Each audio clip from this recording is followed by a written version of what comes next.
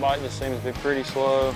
There's a deep hole in the bank right here where a couple bigger fish came from yesterday. Gonna fish it with the shaky head. Had a boy.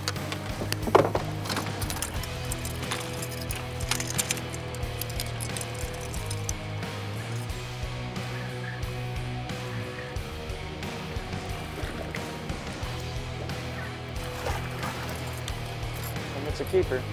Barely. Barely. Broke the ice though. I don't know. I to check him. Barely. Barely.